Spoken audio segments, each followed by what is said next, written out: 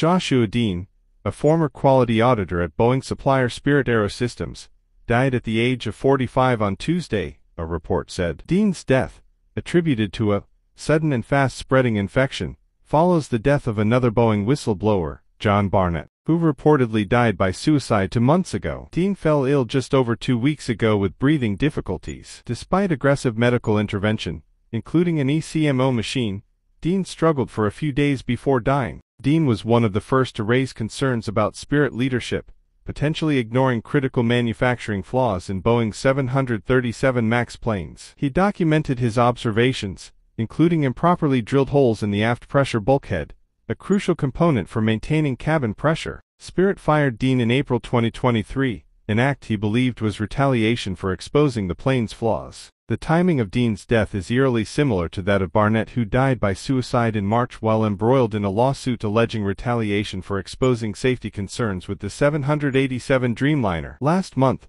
speaking before lawmakers on Capitol Hill, former Boeing engineer Sam Salehpour provided damning testimony, revealing a culture within Boeing that prioritizes pushing flawed components despite safety risks. Salehpour, with 17 years of experience at Boeing, became a whistleblower after facing repercussions for raising safety issues regarding the popular 787 Dreamliner and 777 aircraft. While Boeing acknowledged the existence of imperfections, it assured ongoing efforts toward improvement. Boeing disputed Salehpour's claims regarding the Dreamliner safety, citing extensive testing that purportedly shows no signs of fatigue.